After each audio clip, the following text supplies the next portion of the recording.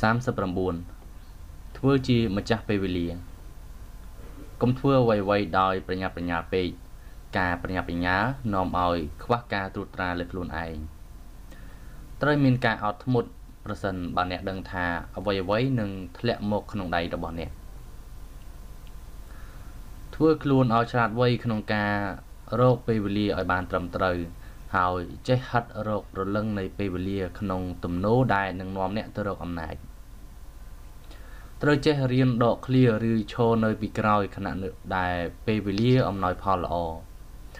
នៅមិនទាន់ចូលមកដល់តែវាវាយប្រហារព្រឹបព្រឹបភ្លាមភ្លាមនៅពេលវាមកដល់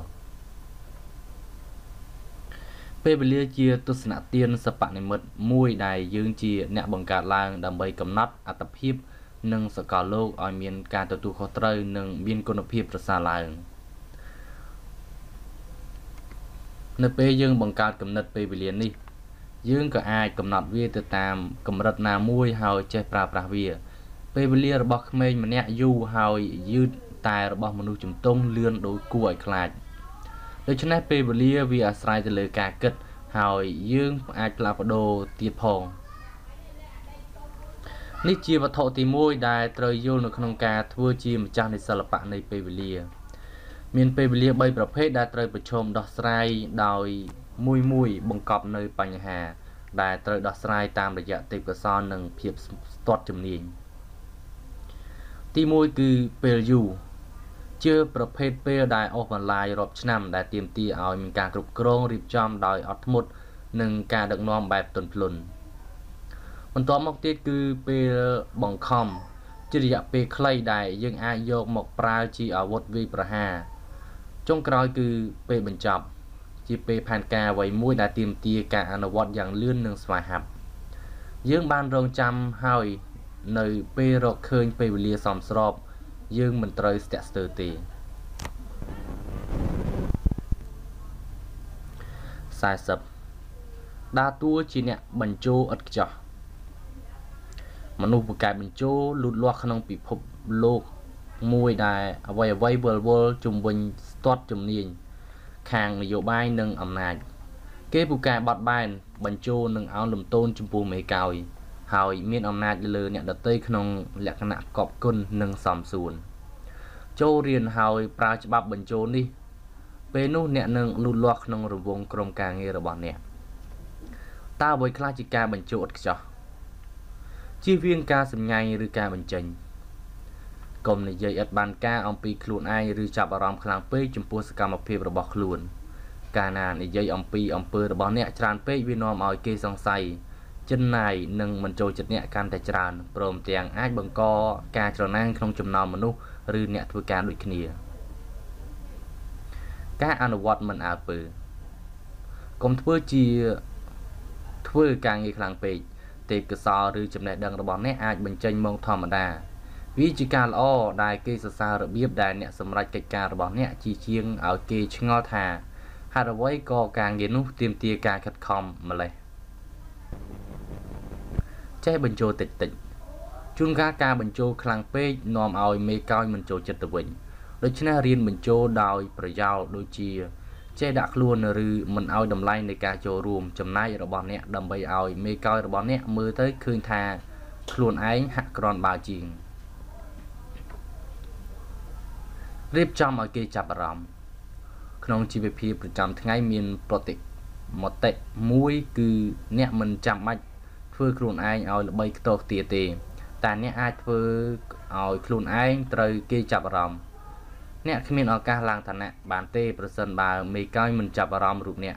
ក្នុងចំណោមមនុស្សយ៉ាងច្រើននៅក្រៅបង្គាប់របស់គាត់ភារកិច្ចនេះទាមទារសិល្បៈវិធីច្រើនដំបូងទាមទារការឃើញជាក់ស្ដែងដោយ អ្នកត្រូវយកចិត្តទុកដាក់ទៅលើទៅលើអាការៈរូបវ័ន្តហើយបន្ទាប់មករកវិធីបង្កើតស្ទីលឬកេរឈ្មោះឲ្យប្លែកពីគេបដូរឈ្មោះផ្លាស់ប្ដូរស្ទីលនិងភាសាទៅតាមមនុស្សដែលអ្នកត្រូវដោះស្រាយជាមួយ ការប្រតិបត្តិដោះស្រាយឬប្រើវិធីដដែលៗជាមួយមនុស្សគ្រប់គ្នាដោយមិនគិតអំពីឋានៈទូនាទី ចំពោះមនុស្សនិងកលៈទេសៈគឺជាកំហុសមួយ អ្នកត្រូវផ្លាស់ប្ដូរឬស្ទីលនិងរបៀបនិយាយឲ្យស៊ីគ្នាទៅនឹងប្រភេទមនុស្សនៅកលៈទេសៈនិងតាមកលៈទេសៈវាមិនមែនជាការនិយាយកុហកទេតែជាការសម្ដែងសិល្បៈម្យ៉ាង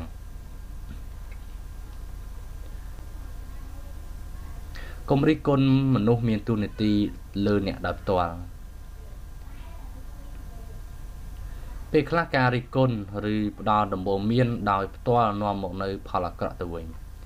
អ្នកត្រូវរៀនបញ្ចេញការរិះគន់ឬផ្ដល់ដំបូន្មានដោយប្រយោលនិងយ៉ាងសុភាពរាបសារសូមការគ្រប់គ្រងឬការយល់ព្រមមិនថាអ្នកពូកែការងារយ៉ាងណាទេយកល្អត្រូវចេះសួរយោបល់ឬសុំការយល់ព្រមពីមេកោយដើម្បីឲ្យមេរបស់អ្នកសប្បាយចិត្តហើយយល់ថាខ្លួនគេគ្រាន់បើជាប់ ការធ្វើអ្វីៗដោយអត្តនោម័តឬបែរទៅជាសួរយោបល់ពីអ្នកផ្សេងដោយប្រមាណឆ្លងកាត់ពីមេកោយវានាំឲ្យមេកោយរបស់អ្នកមិនសប្បាយចិត្តកុំធ្វើជាមនុស្សដែលមើលឃើញតែអាក្រក់ត្រូវចេះលើកសរសើរអ្នកដទៃដែលធ្វើការងារបានល្អបើអ្នកចេះតែរិះគន់គេ ការរិះគន់ខ្លាំងអាចធ្លាក់មកលើអ្នកវិញ គេមកជាមិនសប្បាយចិត្តឬខឹងចំពោះសម្ដីរិះគន់របស់អ្នកតាមរយៈការលើកសរសើរល្មមល្មមចំពោះសមិទ្ធផលរបស់អ្នកដទៃអ្នកធ្វើឲ្យគេចាប់អារម្មណ៍លើខ្លួនអ្នកទៅវិញទេតាមសង្កេតមើលខ្លួនឯង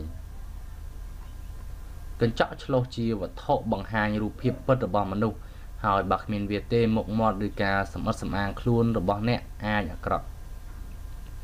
មនុស្សយើងក៏ត្រូវការកញ្ចក់ឆ្លុះសម្រាប់សកម្មភាពរបស់គេដែរកញ្ចក់ឆ្លុះប្រភេទនេះជួនកាលកើតចេញមកពីអ្នកដតី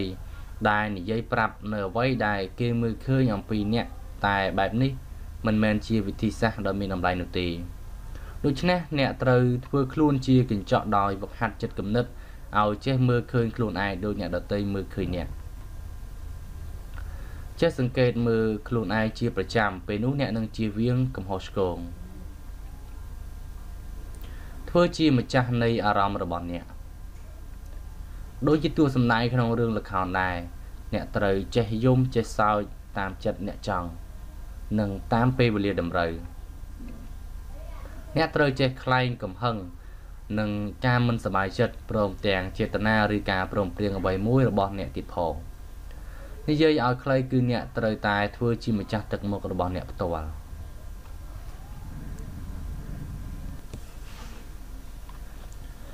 41បង្រៀនលទ្ធភាពធ្វើការងារដោយខ្លួនឯងមនុស្សស្ទើរតែទាំងអស់ជឿថាយើងមានលទ្ធភាពធ្វើការងារដោយខ្លួនឯងតាំងពីកំណើតគឺជាអ្វីមួយដែលមានតពូជតែតាមពិតវាមិនដូចនេះទេ យើងមិនមានវាពីកំណើតទេ តែបើយើងប្រើវាលទ្ធភាពធ្វើការងារនេះប្រៀបបានទៅនឹងភាសាមួយក្មេងម្នាក់អាចរៀនភាសាអ្វីមួយគ្រប់គ្នា អាចរៀនភាសាអ្វីមួយ មនុស្សអាយុ90ឆ្នាំម្នាក់ក៏អាចរៀនភាសាអ្វីមួយបើអ្នកជាមនុស្សអាយុ9ឬ90ឆ្នាំ ហើយវង្វេងនៅក្នុងក្រុងប៉ារីស នោះវាអាចប្រើការបានប្រសិនបើអ្នកអាចប្រើភាសាបារាំងដើម្បីរកផ្លូវនៅក្នុងករណីនេះភាសាបារាំងប្រៀបបានទៅនឹងលទ្ធភាពធ្វើការងារដោយខ្លួនឯងដោយរកអ្នកប្រើវាសម្រាប់គោលបំណងអ្វីមួយ អ្នកមិនមែនកើតមកមានវាមកជាមួយនោះទេ តែអ្នកអាចប្រើវាតាមពិតអ្នកអាចប្រើវាតិចឬច្រើនទៅតាមចិត្តអ្នកចង់លទ្ធភាពធ្វើការងារក៏យ៉ាងដូចនេះដែរ តែមនុស្សជាច្រើនមិនជឿទេ មនុស្សភាគច្រើនមានជំនឿថាពួកគេមានឬគ្មានវាពួកគេគិតថាវាជាចរិតឬបុគ្គលិកលក្ខណៈរបស់មនុស្សមកពីកំណើតនេះជាការយកខុសមួយ វាជាកំហុសដែលអាចបំផ្លាញជីវិតរបស់អ្នកបាន តែព័ត៌មានល្អនោះគឺថា វាមិនយឺតពេកទេសម្រាប់អ្នកកែតម្រូវកំហុសនេះ ចូលស្ដាប់មេដឹកនាំក្រុមហ៊ុនម្នាក់និយាយថាគាត់អាចជាអ្នកលក់ដ៏ល្អបំផុតរបស់ខ្ញុំប្រសិនបើគាត់មានលទ្ធភាពធ្វើការងារដោយខ្លួនឯងតែគាត់គ្មានវាជាការមិនពិតទេគាត់មានលទ្ធភាពធ្វើការងារដោយខ្លួនឯងដោយអ្នកដទៃដែរវវាគ្រាន់តែថាគាត់មិនជ្រើសរើសយកវាមកប្រើវាមិនខុសពីភាសាទេ កាលណាអ្នកខិតខំរៀនដោយបើកមើលតាំងពីវចនានុក្រមឡើង ទៅនឹងប្រើពាក្យនោះកាន់តែយ៉ាងងាយប្រើភាសាបរទេសអ្វីមួយដែលអ្នករៀនបើអ្នកមានពេលគ្រប់គ្រាន់រៀនតាមសិភៅនិងហាត់ប្រើពាក្យនិង clear នោះវានឹងកាន់តែងាយស្រួលសម្រាប់អ្នកប្រើវាគឺហាក់ដូចជា ភាសាកំណើតរបស់អ្នកវាដូចជាអ្វីដែលមានស្រាប់នៅក្នុងខ្លួនរបស់អ្នក គឺងាយស្រួលដូច Tiger Woods លេងកូនគោយ៉ាងដូចនេះដែរលទ្ធភាពធ្វើការងារដោយខ្លួនឯងក៏យ៉ាងដូចនេះដែរបើនរណាម្នាក់យល់ថាវាជាអ្វីដែលយើងប្រើមិនមែនជាអ្វីដែលយើងមាននោះអ្នកនោះនឹងប្រើវាសម្រាប់គោលដៅកំណត់អ្វីមួយ គេអាចប្រើវាឬទុកវាចោលតាមចិត្តចង់ 42ប្រើអំណាចនៃការកំណត់ វិធីល្អបំផុតសម្រាប់ទូទាយអនាគតគឺត្រូវបង្កើតវា Pager Tracker ដាក់សំណើរបស់អ្នកនៅក្នុងគម្រោងពេលមួយបើគ្មានគម្រោងពេលចាំបាច់អ្វីមួយទេ ចូលបង្កើតវាទៅបើអ្នកចង់បានរបាយការណ៍មួយពីនរណាម្នាក់ចូលបញ្ចប់សំណួររបស់អ្នកដែលសួរថា តើខ្ញុំអាចទទួលបានវានៅចុងថ្ងៃធ្វើការរបស់យើងនៅថ្ងៃប្រហោះបានទេវចនានុក្រមជាច្រើនពិពណ៌នាការកំណត់ deadline ថាជាពេលដែលត្រូវធ្វើអ្វីមួយឲ្យហើយពីដើមមានន័យថាវាជាខ្សែដែលมันអាចទៅហួសនិងជាខ្សែពាត់ជុំវិញគុកយោធា ដែលអ្នកទោសអាចត្រូវគេបាញ់ប្រសិនបើលួចរត់ពីហួសពីខ្សែនេះ តាមន័យត្រង់វាជាខ្សែដែលមនុស្សឬគម្រោងការងារអ្វីមួយត្រូវងាប់ឬបរាជ័យប្រសិនបើត្រូវរំលងវា ការកំណត់ជំរុញឲ្យមនុស្សធ្វើសកម្មភាពដូច្នេះបើអ្នកចង់ឲ្យគេធ្វើសកម្មភាព ចូលផ្ដល់ឲ្យគេនៅការកំណត់បើអ្នកធ្វើសំណើអ្វីមួយដោយគ្មានដាក់ការកំណត់ឬពេលវេលាជាក់លាក់ទេនោះអ្នកពុំអាចទទួលបានអ្វីមួយដែលអ្នកចង់ឲ្យគេទទួលខុសត្រូវទេ អ្នកគ្រាន់តែមានបំណងនិងសង្ឃឹមក្នុងលំហតែមិនដឹងថាពេលណាទើបទទួលបានមនុស្សយើងមានទឹកចិត្តសាទរនិងធ្វើការងារនៅពេលដែលយើងប្រើទាំងមធ្យោបាយល្បឿននិងពេលវេលា យើងបានកំពុងសរសេរសិភៅមួយដោយមិនប្រញាប់ប្រញាល់តែនៅពេលអ្នកបោះពុំផ្សាយប្រាប់ឲ្យយើងធ្វើកាត់តឡុកសម្រាប់លក់ពេលប៉ុនណូអែលមួយឲ្យហើយក្នុងរយៈពេល1ខែ ពួកយើងបានញាប់ដៃញាប់ជើងដោយសរសេរនិពន្ធ20ម៉ោងនៅក្នុងមួយថ្ងៃរហូតដល់ចប់ យើងទទួលបានសិភៅល្អមួយបើគ្មានការកំណត់ក៏គ្មានគោលដៅហើយវាមានតែសំណើមិនច្បាស់លាស់បន្ថែមលើភាពច្បុកច្បល់ទូទៅនៅកន្លែងធ្វើការងារអ្នកមុខជាចង់ធ្វើជាអ្នកដឹកនាំដែលចេះដាក់សំណើជាមួយនឹងការកំណត់ បើពេលវេលាអ្នកខ្លីពេក អ្នកអាចធ្វើការចរចាដោយឲ្យកូនចៅរបស់អ្នកចូលរួមផង អ្នកណាកំណត់ពេលវាមិនសំខាន់ទេ តែបញ្ហានៅត្រង់ថាតើការងារឬផែនការរបស់អ្នក មានការកំណត់ដែរឬអត់អ្នកចាត់ចែងភាកច្រើនមិនមិនបានធ្វើរបៀបនេះទេពួកគេមានសំណើដែលមិនទាន់សម្រេចបានរាប់រយនៅអណ្ដែតវល់វល់ជុំវិញខ្លួន ពីព្រោះគេមិនកំណត់ពេលធ្វើមួយណាមុន ឬមួយណាក្រោយ តែមែនទេ ការកំណត់និងសម្រួលកិច្ចការងារគឺជាអ្វីដែលមនុស្សគ្រប់គ្នាត្រូវតែមាននិងចេះបត់បែនទៅតាមពេលវេលា គឺជាអ្វីដែលមនុស្សគ្រប់គ្នាគួរតែមាន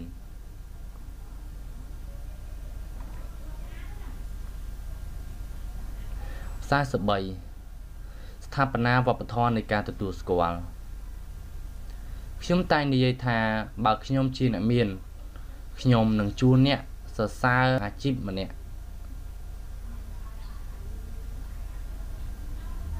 វិធីមួយដើម្បីលើកទឹកចិត្តអ្នកដតីបានប្រសើរជាង គឺត្រូវផ្លាស់ប្ដូរសំណួរដែលអ្នកសួរខ្លួនឯងរាល់ថ្ងៃជំនួសឲ្យសំណួរថាតើខ្ញុំធ្វើយ៉ាងណាដើម្បីឲ្យគេធ្វើការងាររំខានខ្ញុំតិចជាងមុន ខ្ញុំអាចផ្លាស់ប្ដូរទៅជាតើមានមធ្យោបាយល្អបំផុតអ្វីសម្រាប់ឲ្យក្រុមធ្វើការងារបានច្រើនជាងមុនអ្នកចាត់ចែងការភាគច្រើនដូចចូលចិត្តស្វែងរកចាប់កំហុសហើយរិះគន់ពួកគេស្វែងរកបញ្ហាហើយបន្ទាប់មកនិយាយថាអ្នកដឹងទេ យើងមិនអាចមានកំហុសបែបនេះទេ ការងារនេះមិនទាន់គ្រប់គ្រាន់ទេ តែមធ្យោបាយចាប់កំហុសបង្កការមិនសប្បាយចិត្តនៅក្នុងចំណោមអ្នករិះគន់មធ្យោបាយប្រសើរជាងការទទួលស្គាល់ស្នាដៃនិងលើកសរសើរអ្នកធ្វើធ្វើត្រូវធ្វើបានល្អដូច្នេះពេលខ្ញុំបើករថយន្តទៅធ្វើការខ្ញុំប្រាប់ខ្លួនឯងថាខ្ញុំនឹងបង្កើតវប្បធម៌នៃការទទួលស្គាល់ដោយធ្វើឲ្យបុគ្គលិកទាំងអស់មានអារម្មណ៍ថាស្នាដៃរបស់ខ្លួន ចាប់តាំងចាប់ពីតិចតួចឡើងទៅនឹងត្រូវបានគេទទួលស្គាល់ ពួកគេនឹងមានអារម្មណ៍ថាពួកគេនឹងត្រូវគេឲ្យតម្លៃនេះជាវប្បធម៌ដែលខ្ញុំបង្កើតសម្រាប់បង្កើនផលិតភាពបើអាចធ្វើបានខ្ញុំចង់លើកសរសើរអ្នកទាំងនោះនៅពីមុខគេឯងខ្ញុំក៏អាចបញ្ជូនរង្វាន់ឬលិខិតសរសើររបស់លោកប្រធានទៅផ្ទះរបស់គេខ្ញុំចង់ឲ្យគ្រួសាររបស់គេដឹងថារូបគេត្រូវបានអ្នកចាត់ចែងយកចិត្តទុកដាក់44 ដើរតួជាមនុស្សល្អផងអាក្រក់ផងបើអំពើរបស់អ្នកញ៉ាំងឲ្យអ្នកដតីនឹកស្រមៃចង់បាន ចង់រៀនសូត្រតាមនឹងនាំឲ្យគេធ្វើការខ្លាំងឡើង អ្នកគឺជាមេដឹកនាំម្នាក់បើអ្នកពូកែតាក់ទាញអ្នកដតី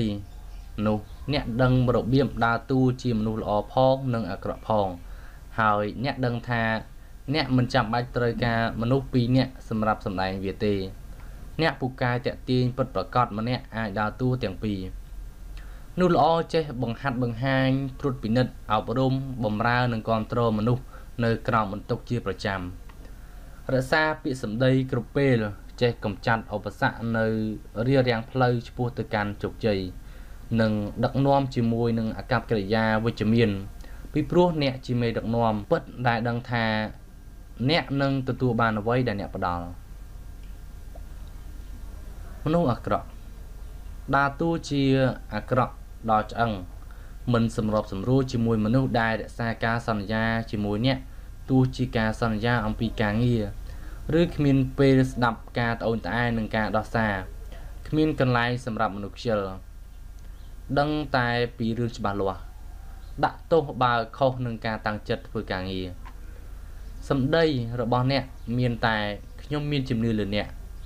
ខ្ញុំដឹងថាអ្នកអាចធ្វើបាននិងហេតុផលដែលអ្នកមានគឺធ្វើការងារនេះឲ្យហើយជាការពិតអ្នកមិនត្រូវធ្វើជាមនុស្សអាក្រក់ញឹកញយពេកទេ វានឹងត្រូវយកមកប្រើដរាបណាមធ្យោបាយមនុស្សល្អលែងមានប្រសិទ្ធភាពមធ្យោបាយមនុស្សអាក្រក់អាចជាការដាក់អារម្មណ៍ខ្លាំងមួយ ហើយនៅពេលប្រើវាចប់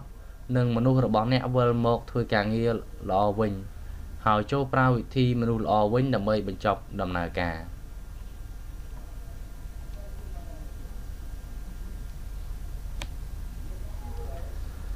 45ប្រើពេលល្អបំផុតសម្រាប់ធ្វើការងារធំបំផុតរបស់អ្នកវាពិបាកនៅពេលសេចក្ដីគិតជាមុន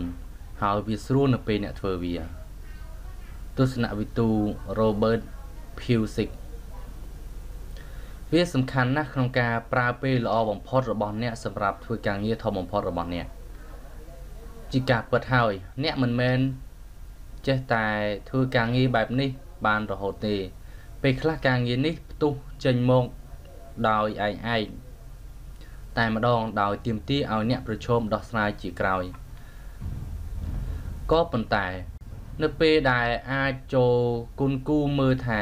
តើអ្នកអាចប្រើពេលល្អណាមួយរបស់អ្នកដើម្បីធ្វើការងារសំខាន់ណាមួយបានដែរឬទេអ្នកដឹកនាំជាច្រើនពូកែវ័យឆ្លាតបំផុតនៅប្រមាណម៉ោងនៅពេលព្រឹក ខ្លះនៅពេលថ្ងៃត្រង់ហើយខ្លះទៀតនៅពេលរសៀលពេលណាក៏បានឲ្យតែពេលល្អសម្រាប់អ្នកចូលគុំចំណាយវាអត់ប្រយោជន៍ជាមួយនឹងការងារកំពេចកំពុក បញ្ចេញធម្មពលហើយផ្ដោតការយកចិត្តទុកដាក់ទៅលើការងារឬឧបសគ្គធំដែលអ្នកបាននឹងកំពុងដោះស្រាយយើងកំពុងភាកច្រើនពួកយើងភាកច្រើនច្រឡំភាពសบายរីករាយជាមួយនឹងសុភមង្គលហើយរកបានភាពរីករាយខ្លាំងតាមរយៈចំណាយធម្មពលខ្ពស់ បំផុតទៅលើកិច្ចការតូចតាចតែនៅពេលជាមួយគ្នាការងារសំខាន់បំផុត ក៏លេចឡើងឬនៅរងចាំអ្នកត្រូវដឹងជាមុនថាអ្វីជាការងារឬឧបសគ្គធំបំផុតរបស់អ្នកកំណត់វាទុកហើយចាត់ការជាមួយនឹងធម្មពលដ៏ខ្លាំងនិងមិនអាចបញ្ឈប់បានរបស់អ្នកនោះជាប្រភពសុភមង្គលផ្ដាច់ព្រាត់របស់មេដឹកនាំអាជីពម្នាក់ អ្នកមានអារម្មណ៍សម្រេចបានស្នាដៃនៅពេលអ្នកសម្រេចការងារធំអ្វីមួយ46បន្ទន់ចិត្តរបស់អ្នកជីវិតរបស់គាត់មានការអភិវឌ្ឍដរាបណាចិត្តរបស់គាត់កាន់តែទន់ឈាមរបស់គាត់កាន់តែក្តៅខួរក្បាលកាន់តែវៀងវៃហើយស្មារតីរបស់គាត់ស្ថិតនៅក្នុងសន្តិភាព John Ruskin ទស្សនវិទូនិងជាអ្នកនិពន្ធ មនុស្សជាច្រើនដែលទទួលជោគជ័យក្នុងការដឹកនាំ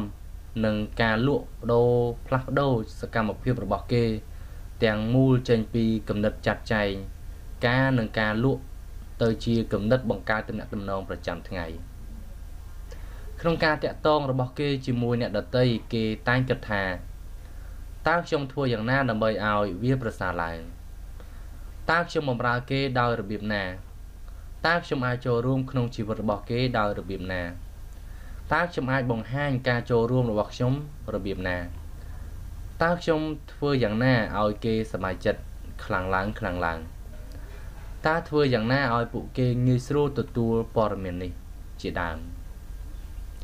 ការបង្កើនទំនាក់ទំនងមិត្តភាពត្រូវមានជាបន្តបន្ទាប់មេដឹកនាំម្នាក់ត្រូវដឹងថាការប្រស័យតាក់ទងដោះស្រាយបានគ្រប់បញ្ហា ការកិច្ចវេះកាន់តែធ្វើឲ្យបញ្ហាអាក្រក់ឡើងគ្មានភារកិច្ចព្រមព្រៀងដឹកនាំណាត្រូវឲ្យគេធ្វើឡើងនៅក្រៅសង្ការសន្តានាទេដូច្នេះការសន្ទនារបស់អ្នកមានសារៈសំខាន់មានការនិយាយគ្នាច្រើននាំឲ្យមានភាពកក់ក្ដៅនិងស្រួលចិត្តការចូលរួមរបស់គេនាំអ្នកឆ្ពោះទៅរកគោលដៅប្រាជ្ញាប្រវត្តិរបស់អ្នកសាស្ត្រាចារ្យ Len Se Crotan បានសរសេរសិភៅមួយបានសរសេរសិភៅ13ស្ដីពីភាពជាមេដឹកនាំតែលោកបានសង្ខេបត្រឹមថា ភាពជាមេដឹកនាំមិនផ្ដោតទៅលើបច្ចេកទេសឬវិធីសាស្ត្រច្រើនពេកទេ ភាពជាមេដឹកនាំគឺនិយាយអំពីការញ៉ាំងចិត្តទាំងខ្លួនឯងនិងអ្នកនិងអ្នកដទៃភាពជា មេដឹកនាំកម្ពុជានិយាយអំពីបទពិសោធន៍មនុស្សមិនមែនអំពីវិធីសាស្ត្រទេភាពជាមេដឹកនាំមិនមែនជារូបមន្តឬកម្មវិធីទេ វាជាសកម្មភាពមនុស្សដែលកើតចេញមកពីបេះដូងនិងការគិតអំពីបេះដូងអ្នកដទៃ47ពិនិត្យមើលអ្វីដែលអាច មេដឹកនាំចំណានចំណានព្យាយាមលើកដំកើងការសរសើរខ្លួនឯងរបស់បុគ្គលិករបស់គេ ហើយមនុស្សជឿលើខ្លួនឯងវាគួរឲ្យឆ្ងល់ថាតើពួកគេអាចសម្រេចអ្វីបាន។សៀមវ៉លថុនវិធីល្អបំផុតមួយសម្រាប់តាក់ទាញអ្នកដតីគឺត្រូវរៀនសូត្រពីអ្នកទាំងឡាយណាដែលបានតាក់ទាញអារម្មណ៍របស់អ្នក រៀនសូត្រពីមេដឹកនាំសំខាន់សំខាន់ដែលអ្នកស្គាល់ Scott Richardson បានរំលឹកថា អ្នកពូកែតាក់ទាញចិត្តបំផុតដែលខ្ញុំធ្លាប់ស្គាល់គឺគ្រូវីយ៉ូឡុងរបស់ខ្ញុំគាត់ជាសាស្ត្រាចារ្យតន្ត្រីនៅសាកលវិទ្យាល័យ Arizona ឈ្មោះ Rodney Mikado ខ្ញុំបានជួបគាត់កាលពីខ្ញុំមានអាយុ16ឆ្នាំ ពេលខ្ញុំប្រុងបោះចោលការសិក្សាវីយូឡុងម្ដាយរបស់ខ្ញុំបានចង់ឲ្យខ្ញុំក្លាយទៅជាអ្នកលេងវីយូឡុងម្នាក់បាននិយាយថាកុំឈប់ចាំម្ដាយរកគ្រូពូកែម្នាក់មកឲ្យកូនខ្ញុំហាក់មិនសូវជឿតែនៅថ្ងៃមួយគាត់បានមករកខ្ញុំហើយនិយាយថាគាត់រកបានគ្រូម្នាក់សម្រាប់ខ្ញុំពេលខ្ញុំជួបគាត់ជាលើកដំបូងខ្ញុំត្រូវលេងវីយ៉ូឡុងឲ្យគាត់មើល ខ្ញុំមិនដែលលេងឲ្យគ្រូណាស្ដាប់កាលពីមុន តាមធម្មតាអ្នកត្រូវបង់លុយដើម្បីឲ្យនរណាម្នាក់ទទួលយកអ្នកជាសិស្សតែមីកាដូជ្រើសរើសសិស្សរបស់គាត់ដោយប្រុងប្រយ័ត្នណាស់ប្រៀបបានកម្ពុជាមេដឹកនាំម្នាក់ជ្រើសរើសក្រុមរបស់ខ្លួនអញ្ចឹងខ្ញុំបានលេងឲ្យគាត់ស្ដាប់យ៉ាងអន់បំផុតខ្ញុំបានគិតថាការចប់ទៅហើយអាយគាត់មិនអាចខ្លាចជាគ្រូរបស់ខ្ញុំបានទេ តែក្រោយមកគាត់ទូរស័ព្ទមកខ្ញុំហើយនិយាយថាគាត់ទទួលយកខ្ញុំខ្ញុំបានគិតថាមុខជាមានកំហុសក្នុងការជ្រើសរើសវាមិនអាចជាការពិតទេខ្ញុំចង់និយាយថាការលេងរបស់ខ្ញុំអន់ណាស់ហើយខ្ញុំមិននឹកស្មានថា អាចត្រូវគេទទួលយកជាសិស្សសោះ Richardson បានបន្តទៀតថា តែគាត់អាចមើលឃើញលទ្ធភាពរបស់អ្នកដតីប្រសិនបើនរណាម្នាក់បានឃើញការសម្ដែងរបស់ខ្ញុំ គេមុខជានិយាយថា គួរឲ្យអស់សង្ឃឹមតែគាត់មើលឃើញហួសពីការលេងគាត់មើលឃើញលទ្ធភាពនៅពីក្រោយការលេងរបស់ខ្ញុំក្នុងន័យនេះគាត់ជាគ្រូជាមេដឹកនាំដ៏ពូកែម្នាក់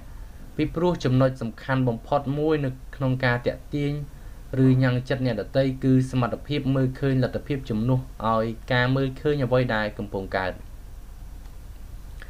ចាប់តាំងពីពេលនោះមកខ្ញុំកម្របោះ បងចោលនរណាម្នាក់ភ្លាមភ្លាមណាស់ខ្ញុំរៀនសូត្រពិនិត្យនិងស្ដាប់ដោយស៊ីជម្រៅក្រោយការធ្វើដូច្នេះទេពកោសលនិងកម្លាំងរបស់មនុស្សដែលខ្ញុំសង្កេតមើលក៏បានបង្ហាញឡើង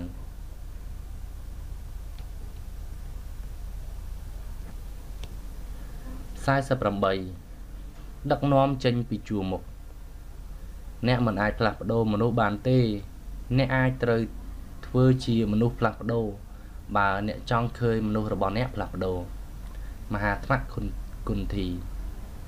គ្មានអ្វីតាក់ទាញចិត្តជាងការដឹកនាំចេញពីជួរមុខនោះទេវាញ៉ាំងចិត្តអ្នកដតីនៅពេលអ្នកធ្វើការងារដែលអ្នកចង់ឲ្យគេធ្វើនោះដោយខ្លួនឯងក្នុងមេរៀនញ៉ាំងចិត្តអ្នកដតីការដឹកនាំចេញពីជួរខាងមុខញ៉ាំងទឹកចិត្តខ្លាំងនិងជួនឹងជួ ជាងបង្រៀនផ្សេងផ្សេងវាផ្លាស់ប្ដូរមនុស្សអ្នកក្រមអាវ៉ាត់ខ្លាំងជាងអ្វីផ្សេងទៀតដែលអ្នកអាចធ្វើដូច្នេះចូលធ្វើអ្វីដែលអ្នកចង់ឲ្យគេធ្វើបើអ្នកចង់ឲ្យមនុស្សរបស់អ្នកកាន់តែវិជ្ជមានឡើងអ្នកគួរតែធ្វើខ្លួនឯងឲ្យកាន់តែវិជ្ជមានឡើងបើអ្នកចង់ឲ្យគេមានមោទនភាពច្រើនឡើងក្នុងការងារអ្នកត្រូវបង្កើតមោទនភាពក្នុងកិច្ចការងារដោយខ្លួនឯង បង្ហាញពួកគេថាត្រូវធ្វើយ៉ាងណាបើចង់ឲ្យពួកគេមើលទៅល្អសមរម្យស្លៀកពាក់សមរម្យជាអ្នកវិជ្ជមាន ជាអ្នកមានវិជ្ជាជីវៈត្រូវធ្វើខ្លួនឯងឲ្យសមរម្យជាមុនសិនបើចង់ឲ្យគេធ្វើការតាន់ពេលចូលមកមុនម៉ោងហើយប្រាប់គេថាតើការមកតាន់ពេលវាសំខាន់យ៉ាងណាចំពោះអ្នកមិនមែនចំពោះពួកគេទេ ដោយឧត្តមសេនីយ៍ចចផេថុនមិត្តរបស់គុនធី ធ្លាប់បាននិយាយថា ភាពជាអ្នកដឹកនាំមានគោលការណ៍3គឺ1ឧទាហរណ៍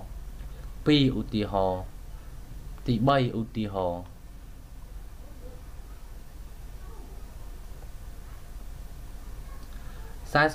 49ដឹងគោលដៅរបស់អ្នក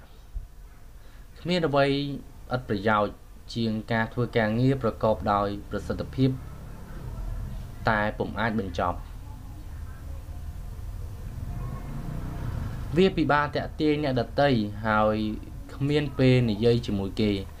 វាមិនជាការល្អទេ ដែលមេដឹកនាំម្នាក់ខ្លាយជាមន់ឥតក្បាលហើយចេះតែរត់មិនដឹងគោលដៅ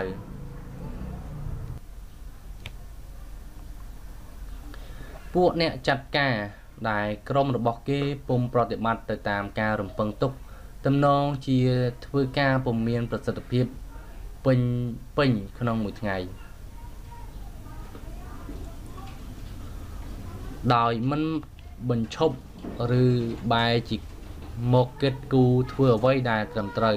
ពួកគេធ្វើការងារខុសលឿនលឿនជាហេតុនាំឲ្យមានបន្ទុកការងារច្រើនឡើងច្រើនឡើង បើគេធ្វើកិច្ចការត្រឹមត្រូវពួកគេមិនខ្វល់នឹងបន្ទុកការងារទេអ្នកដឹកនាំក្នុងធុរកិច្ចសម័យទំនើបយើងនេះប្រឈមការងារច្រើនចម្រុះមុខតែគូក្បាលមិនច្រើនចម្រុះមុខដូច្នេះមនុស្សមិនអាចត្រត្រង់ដោះស្រាយការងារច្រើនក្នុងពេលតែមួយបានទេ អ្នកចាត់ចែងការច្រើនគិតថា ខ្លួនអាចធ្វើការងារបានច្រើនក្នុងពេលតែមួយ តែមិនអាចធ្វើការងារបានតែមួយប៉ុណ្ណោះហើយអន់ទៀតមុខមុនពេលប្រញាប់ប្រញាល់ឈោងចាប់កិច្ចការផ្សេងទៀត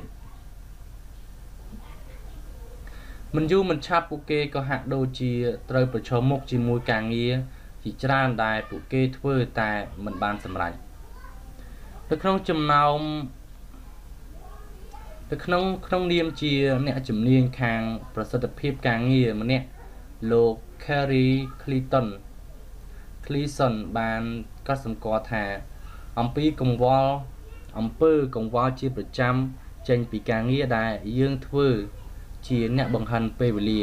និងធម្មពលធំបំផុតតែមួយគត់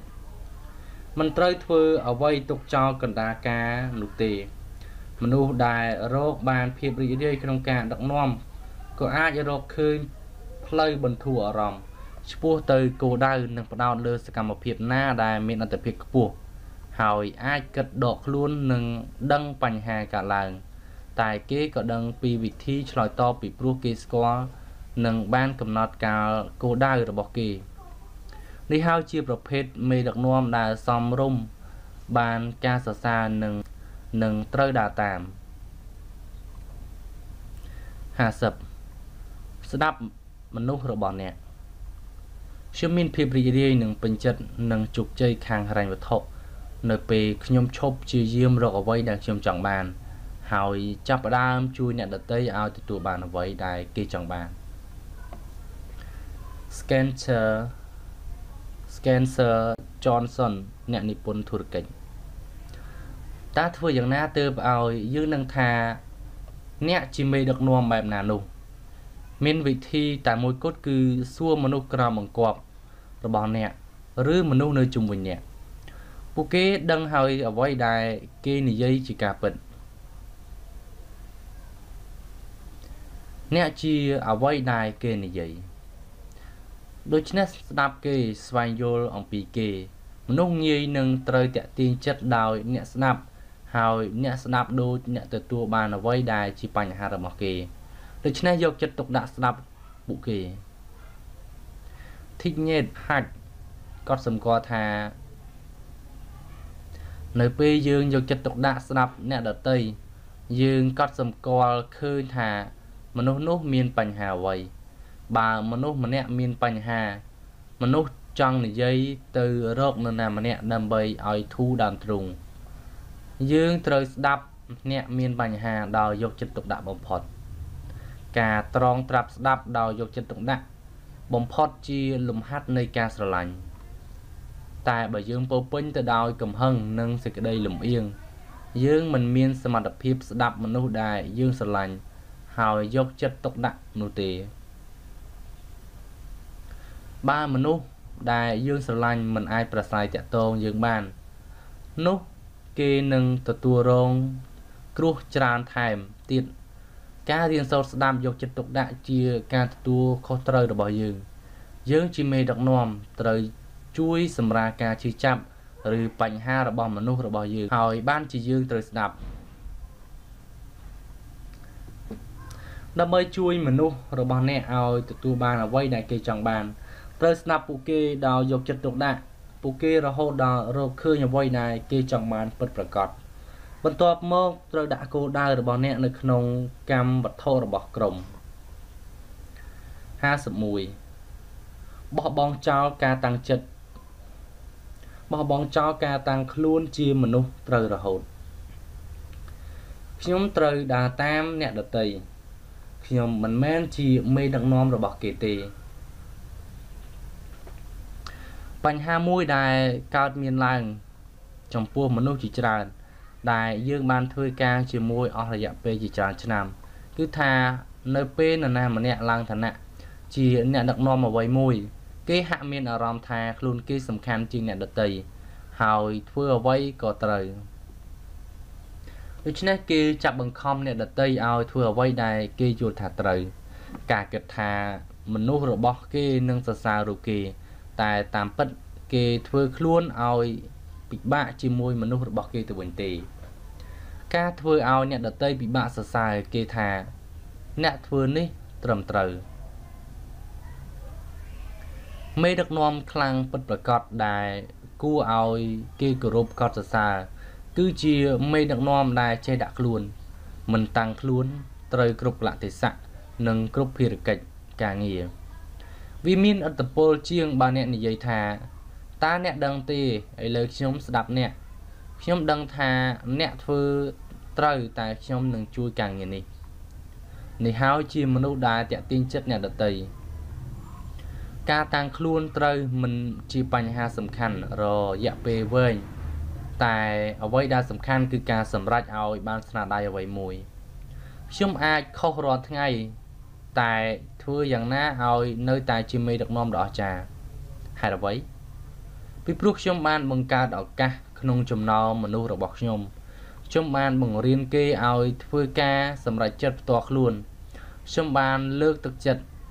ចេះបង្កើនភាពស្មោះត្រង់នឹងការប្រតិបត្តិរបស់គេ52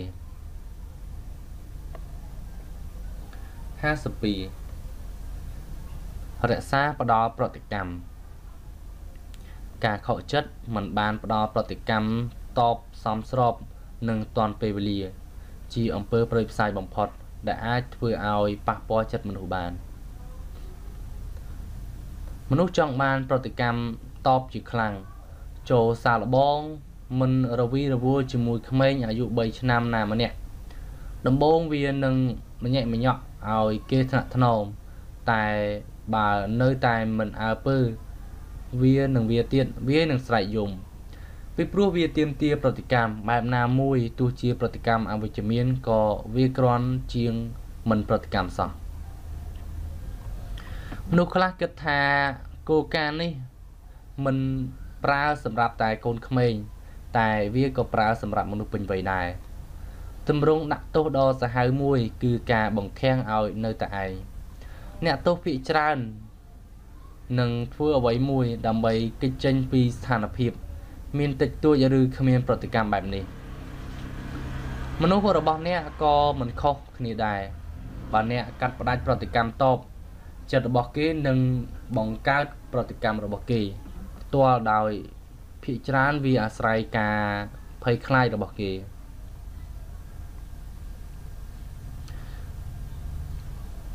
វាមិនមែនជារឿងចៃដន្យនោះទេ ដែលជំនឿចិត្តនិងការប្រស័យតាក់ទង ជាបញ្ហារបស់អង្គភាពនិងក្រុមហ៊ុន ដែលគេបានរកឃើញ នៅក្នុងការអង្កេតនយោជកភាគច្រើនអ្នកចាត់ចែងការដែលមានបញ្ហាធំបំផុត ក្នុងការតាក់ទាញចិត្តរបស់មនុស្សគេរបស់គេគឺអ្នកចាត់ចែងការដែលត្រូវផ្ដល់ប្រតិកម្មតិចបំផុត អ្នកចាត់ចែងការបែបនេះពិបាកនឹងញ៉ាំងចិត្តមនុស្សរបស់គេឲ្យសម្រេចអ្វីមួយ ការសម្រេចអ្វីមួយវាទាមទារប្រតិកម្មតបជាប្រចាំ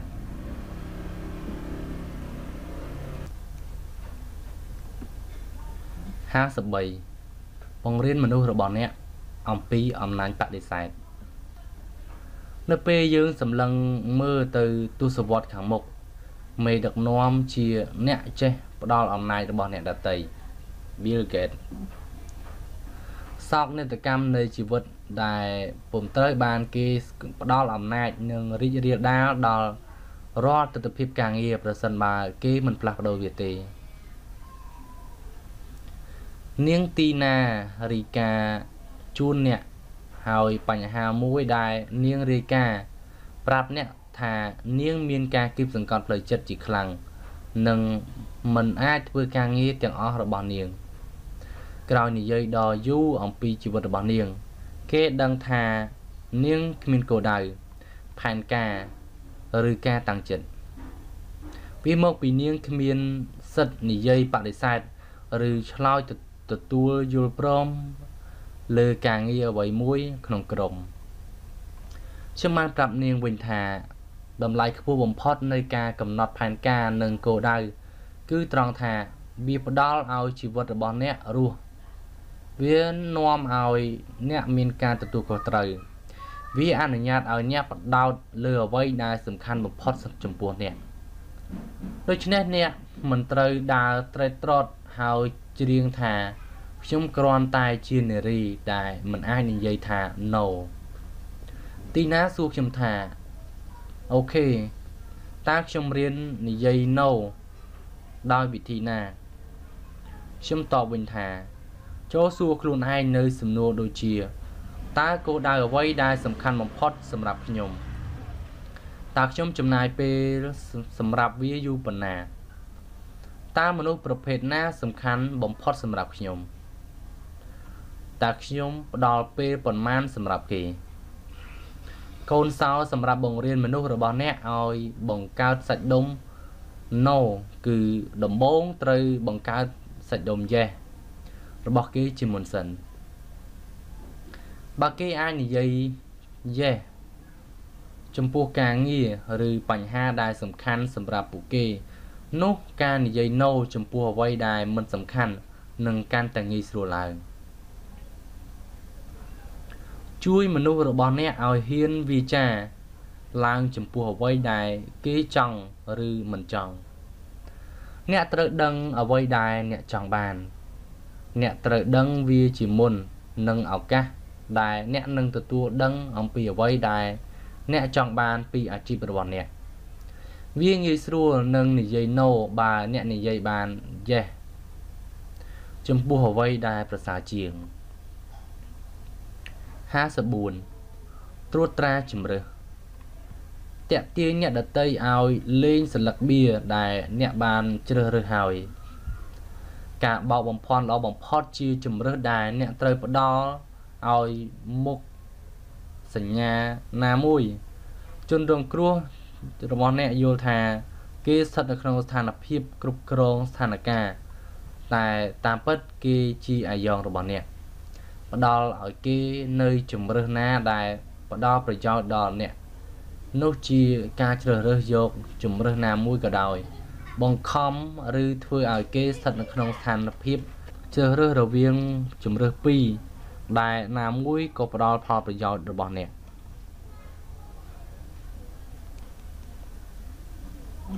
ពាក្យដូចជាសេរីភាព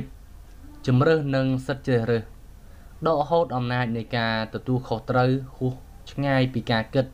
ដែលវាមាន នៅពេលពិនិត្យឲ្យដិតដល់ជំរើសដែលយើងមានដូច ជានៅក្នុងទីផ្សារក្នុងការបោះឆ្នោតឬក្នុងការងាររបស់យើង មុខជាមានហែនដែនកំណត់គួរឲ្យកត់សម្គាល់វាច្រើនតែជាជំរើសរវាង A និង B ហើយតួអក្សរដែលសេសសល់ទៀតពុំត្រូវបានគេដាក់ឲ្យធ្វើការជ្រើសរើសទេ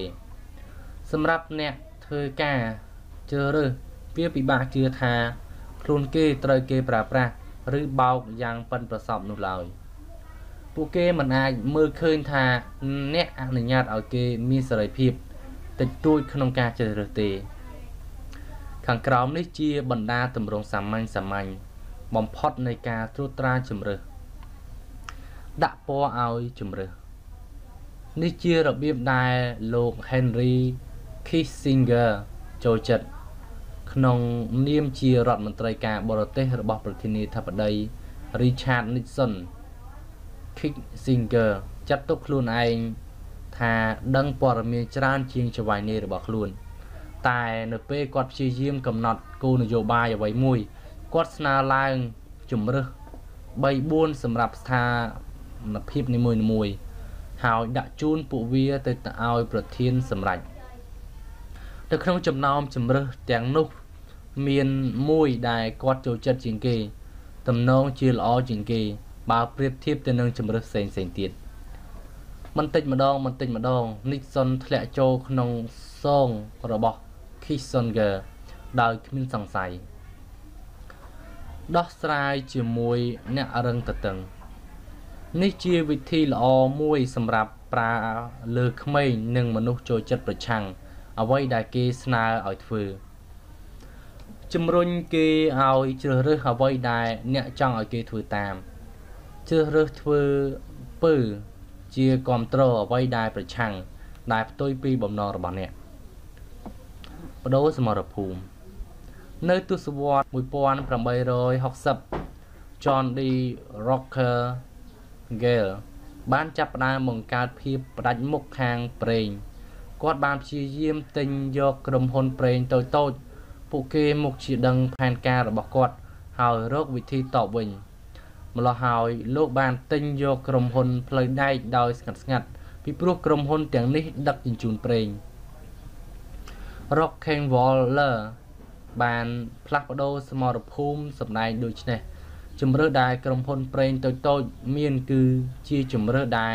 លោកផ្ដល់ឲ្យពួកគេ បន្ថយជំរឿ ដំឡើងថ្លៃរបស់អ្នកនៅរាល់ពេលដែលអ្នកទិញគូសត្រូវឬមុខសញ្ញាមានភាពស្ទាក់ស្ទើរនេះជាល្បិចចរចាវិសេសវិសាលបំផុតមួយសម្រាប់ប្រើលើអ្នកមិនដាច់ស្រេចនឹងមានអារម្មណ៍ថាបើគេចេះតែចាំទៅក្រោយ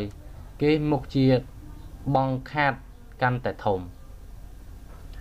មនុស្សខ្សោយនៅលើមាត់ច្រាំងនៃក្តីអន្តរាយ វិធីនេះស្រដៀងទៅនឹងវិធីទី1តែជាមួយមនុស្សខ្សោយនឹងមិនដាច់ស្រេចអ្នកត្រូវតែសម្រុកបន្តិច ប្រើប្រាស់វេទនាអារម្មណ៍ឆាប់រំភើបរបស់គេដើម្បីជំរុញឲ្យគេធ្វើសកម្មភាពនិយាយអំពីគ្រោះថ្នាក់គ្រប់បែបយ៉ាងនិយាយពន្លឹះវារហូតដល់គេមើលឃើញគ្រប់ទិសដៅសុទ្ធតែងងឹតសុទ្ធតែអវិជ្ជមាន លើកលែងតែមួយគឺផ្លូវដែលអ្នកជ្រើសរើសទុកឲ្យការប្រឈមជំរើសអាក្រក់ទាំងពីរវាជាវិធីទូទៅរបស់មេធាវីក្នុងសាវនាការកាត់ទោសមេធាវីដឹកនាំសាក់សីឲ្យសម្រេចចិត្តរវាងការបញ្យល់បកស្រាយពី សម្រាប់ហេតុផលអ្វីមួយ ពួកគេត្រូវឆ្លើយសំណួររបស់មេធាវី តែចម្លើយណាក៏ធ្វើឲ្យប៉ះពាល់ពួកគេកន្លឹះសម្រាប់វិធីនេះគឺវាយប្រហារសួរភ្លាមភ្លាមដោយពំទុកពេលឲ្យជនរងគ្រោះគេចខ្លួន នៅពេលគេខំប្រវេះប្រវាស់ជ្រើសរើសយកជំរើសណាមួយក្នុងជំរើសទាំងពីរគេជីករណ្ដៅសម្រាប់កប់ខ្លួនឯងហើយ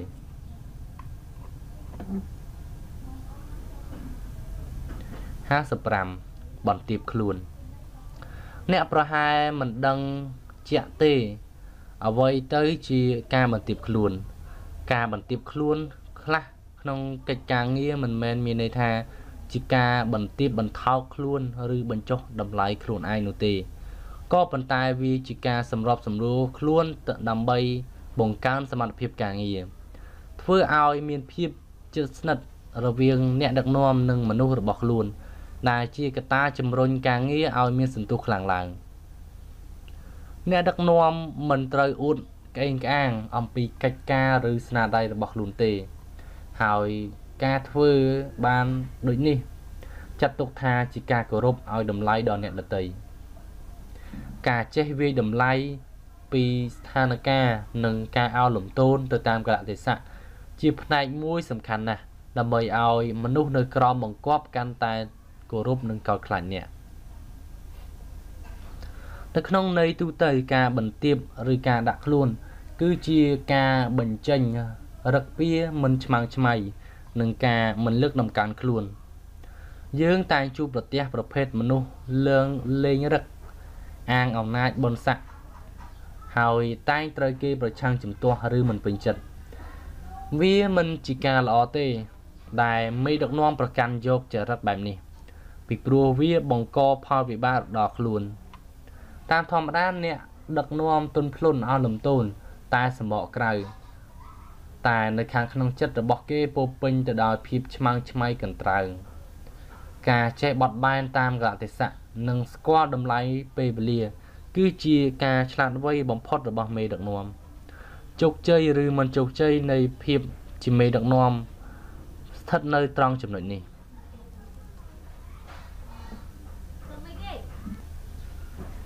56មានកំណត់ស្ថាបនានិងភាពស្ទុះស្ទាការដឹកនាំជាការងារពោពេញទៅដោយលក្ខណៈស្ថាបនាម្យ៉ាងកុំគិតថាខ្លួនអ្នកដែលធ្វើការងារនៅកន្លែងណាមួយយូរឆ្នាំនឹងមានបទពិសោធន៍ច្រើនជាអ្នកដឹកនាំល្អបំផុតនោះឲ្យសោះពីព្រោះមេដឹកនាំបែបនេះអាចនាំមកតែវិធីចាស់ចាស់ក្នុងការរៀបចំកិច្ចការរបស់ខ្លួន ដោយគ្មានកែលម្អទៅតាមវិធីសាស្ត្រដឹកនាំជឿនលឿនថ្មីថ្មី ហើយបើមានបញ្ហាថ្មីថ្មីអ្វីមករាំងស្ទះការងារគេគ្មានសមត្ថភាពដោះស្រាយបានភ្លាមៗទេចាំបាច់មេដឹកនាំត្រូវតែចេះដោះស្រាយរិះរកវិធីសាស្ត្រថ្មីថ្មី មកដោះស្រាយបញ្ហាដែលកើតឡើងជានិច្ចព្រោះស្ថានភាពសង្គមបរិយាកាសនិងបច្ចេកទេសវិទ្យា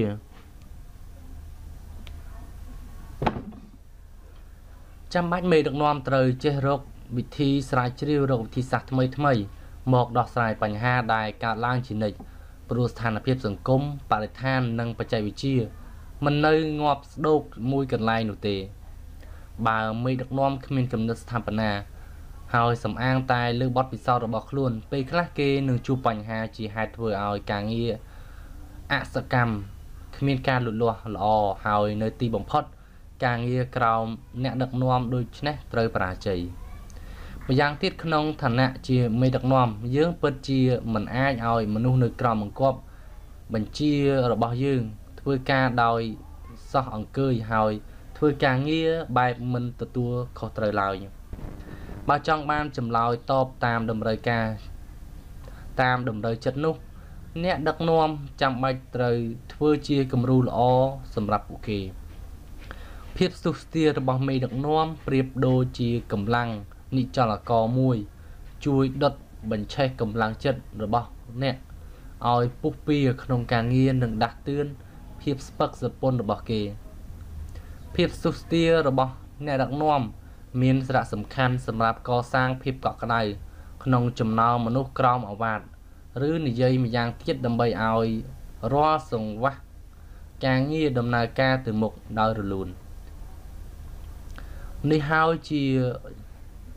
ភាពជោគជ័យរបស់មេដឹកនាំ57តែងធ្វើល្អជាគំរូឧបមាថាអ្នកកំពុងដើរលើផ្លូវថ្នល់ហើយឈប់ឆ្ងក់និងសម្លឹងមើលលើបន្ទាប់មកអ្នកងាកមកក្រោយ នោះអ្នកនឹងឃើញមនុស្សជាច្រើនសម្លឹងមើលតាមអ្នកដែរ នោះបញ្ជាក់ថាសកម្មភាពរបស់មនុស្សសំខាន់ម្នាក់ជាទីចាប់អារម្មណ៍និងជាគំរូរបស់ដល់អ្នកដទៃជាធម្មតាមនុស្សក្រមបង្គាប់យកគំរូតាមមេដឹកនាំដូច្នេះកំហុសឆ្គងកាយវិការមិនសមរម្យនិងសម្ដីសម្ដែងមិនល្អជះឥទ្ធិពលអាក្រក់ដល់ការដឹកនាំទៅថ្ងៃក្រោយ តែបើអ្នកដឹកនាំប្រកាន់ភ្ជាប់ភាពជាអ្នកដឹកនាំល្អ ស្មោះត្រង់ម៉ឺងម៉ាត់ប្រកាន់ភ្ជាប់ពាក្យសន្យា នោះអ្នកក្រមបង្គាប់នឹងកោតញញើតហើយយកគំរូតាម